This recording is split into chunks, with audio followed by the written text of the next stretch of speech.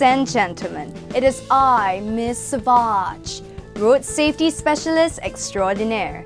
Thank you for gracing the roads of Singapore. The top priority in this city is safety. So before you hit the roads or get hit on the roads, I'll be giving a brief safety demonstration that'll keep you and everyone else alive.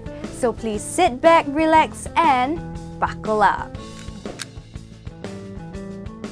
Make sure that you're aware of the proper use of PABs and PMDs.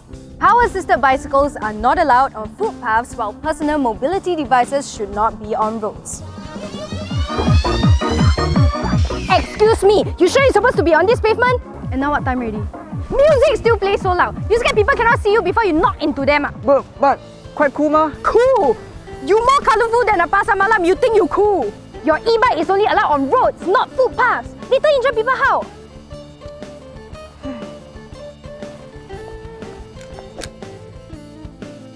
Make sure you obey all the rules when riding on the roads.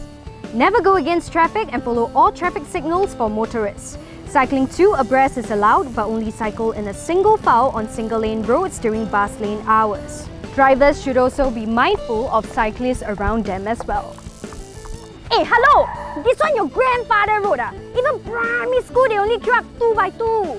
Your four people need to cycle side by side meh? Might as well hold hand and cycle lah.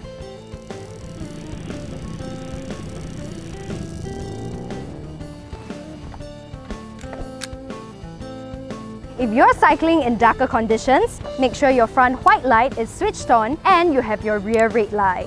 Red reflectors in the rear will work too. Remember, make sure you can see and be seen. Hey, hello! You went until so dark, how can people see you? I don't need no light. Because you light up my life. Ooh. That pickup line was worse than your safety standards. Go and get proper lights and wear brighter clothing lah. And don't forget to wear a helmet. When you're cycling and come across a crossing without any traffic signals, don't just assume that everyone will give way to you. Make sure you slow down, stop, look out for traffic, and cross only when it's safe. Oi! You again? Hello. I got my new lights for my bicycle and a brighter attire, and I got a new helmet. Yeah, but how can you dash across a crossing like that? It's very easy for a car to hit you, you know. I'm sure I'm fine. After all, my guardian angel is here. Guardian angel, your head lah! You think this is a Hollywood movie, is it? Slow down and be careful when cycling across non-signalized crossings. Oh, oh okay.